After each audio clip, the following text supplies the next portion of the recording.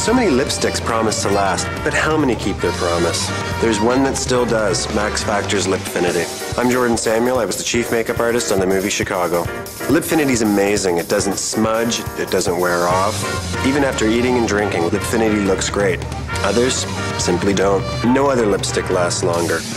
And that's a promise. Lipfinity from Max Factor, now appearing in the major motion picture event, Chicago.